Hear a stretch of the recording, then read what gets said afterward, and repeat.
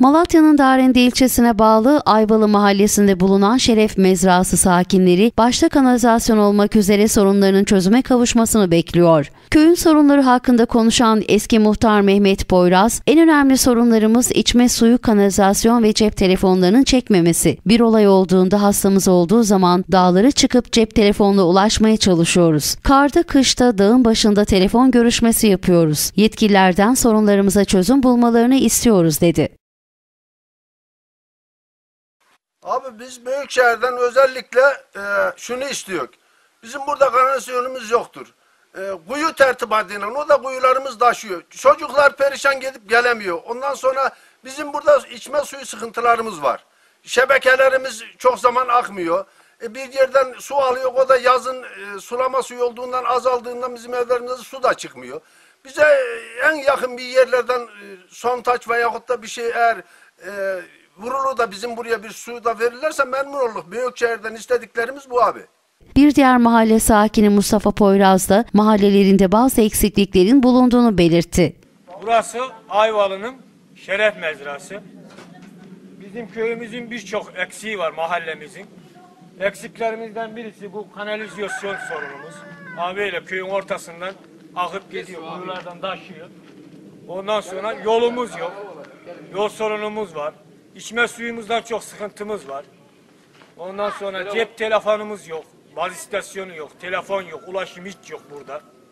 Ondan sonra bayağı bir mağduruk yani. Büyükşehir'e buradan sesleniyor. Büyükşehir Belediye Başkanı'na, Darende Belediye Başkanı'na. Biz- Bizim buralara bir el atmalarını, hizmet bekliyor yani.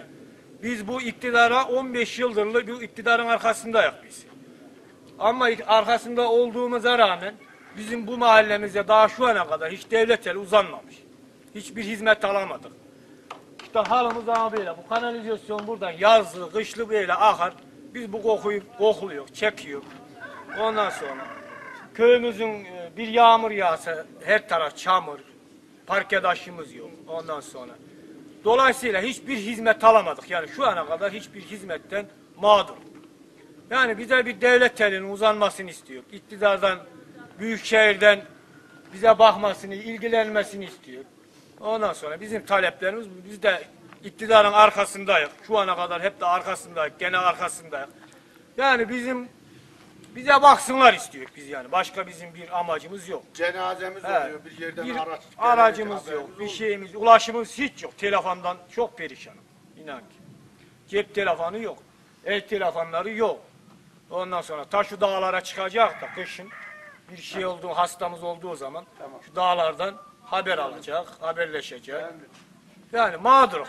İnan ki mağduruk. Mahalle sakinlerinden Abidin Tercan ise özellikle kanalizasyon sorununun bir an önce çözülmesi gerektiğini ifade etti. Şimdi kanal suyun en başta gelen bir şey İsmet Bey. Ha. İçme suyumuz yok, kanal suyumuz yok, cep telefonumuz yok. Dağlara çıkıyoruz, bir olay olduğu zaman, bir hastamız olduğu zaman bir saat dağların başında, karda, kışta oradan şey istiyor, ulaştırma istiyor. Bize bakan yok. Ben 25 sene muhtarlık yaptım. 25 sene muhtarlıkta AK Parti'den hiçbir fayda görmedim. Ama 25 sene AK Parti'nin peşinde de koştum. Halen de koşuyor. Halen de koşmaktayım. AK Parti'den başka bir yere de gitmiyor. 35 tane köy, 150 nüfuslu. Hiçbir hizmet alamıyor.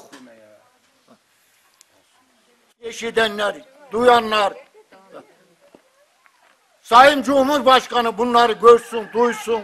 Ha, biz kendi için ölüyor. Uykum yok. Uruyamızda görüyor, uruyamızda. Ama bir fayda görmüyor hiç. Mahalle sakinlerinden Emine Poyraz ise büyükşehir olduktan sonra hizmetlerin gelmeye başladığını ancak bunun yeterli olmadığını ifade etti. Malatya Büyük e, Belediye Başkanı getiriyor hizmet ama yeterli olmuyor. Çocuklarımıza park yaptı Allah razı olsun. İyi ama kanasılığımız yok. Sağa sola sokaklar akıyor, rahatsız oluyor. Kokudan duramıyor.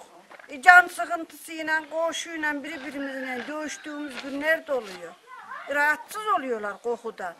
Kalkıyor can sıkıntısıyla. Vay sen şuraya diyor, vay buraya diyor. Olmuyor işte.